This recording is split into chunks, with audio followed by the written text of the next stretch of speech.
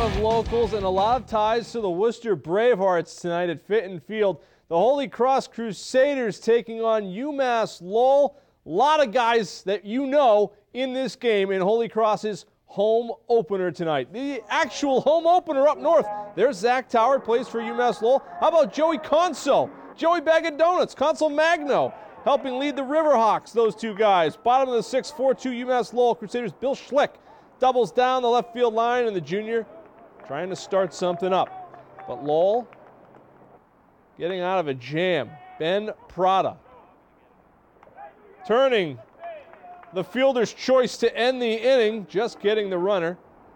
Shane Sandoval, former Braveheart, at second. Top seventh, Nick Barry hammering a base hit, the Grafton guy at Worcester Academy, setting the table. And then Barry stealing second base. And now he's in scoring position. Ben Prada, the Riverhawks wear Prada. Base hit. Barry comes on to score. 5 to 2, UMass Lowell. Bottom of the seventh we go. Crusaders Nick Lavulo. Base hit down the left field line to lead things off. Nick Zaw was in the in the box score for the uh, Crusaders, but the Riverhawks reliever getting the strikeout to end the inning.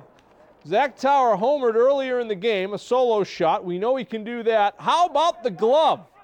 The Auburn native, flash in the glove. He is defensively sound, as they say. UMass Lowell wins it 5 2. Your final. Look at Tower. He's going to make another one. Do it, Tower. All right, let's move on. WPI and Brandeis. Afternoon game at the New England Baseball Complex, home of the WPI engineer, Sean Green. Bottom of the second, dropping in a hit. That's his 100th hit for his career. And Green going to create some havoc. Stealing second. Good turf slide, and now he's in scoring position. WPI's John Caleri, line drive. Going to get down. Green coming around. And he will score. One to nothing Engineers. Caleri with a base hit. And there he is. Top of the third, Brandeis. Ryan Teddemer with a shot over the center field wall. Solo home run ties the game at one. The judges coming back. WPI, though, getting it done on the hill. Nick Borsari with the strikeout, and then the throw out. Strike him out, throw him out. Nick Comey making the play out there at second.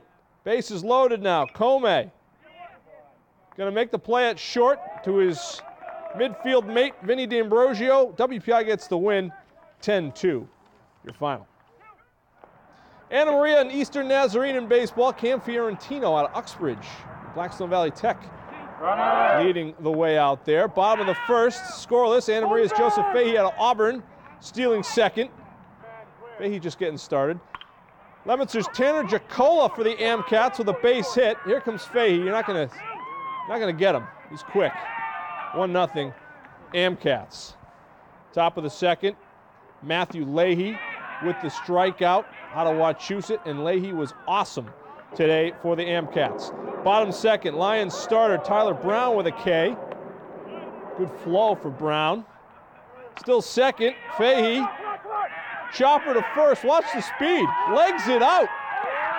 Nick Fiola scores 2 0 Anna Maria. Leahy was solid, two hitter through seven, but Eastern Nazarene wins it 10 4 is your final.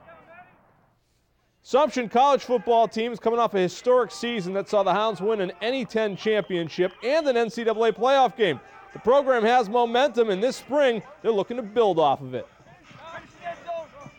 Our momentum's just good. You know, we, we haven't hit any hitting any roadblocks or anything. We continue to progress. Everything continues to build upon itself, and, and it gets better and better and better. And uh, you know, we don't lose a lot on either side of the ball.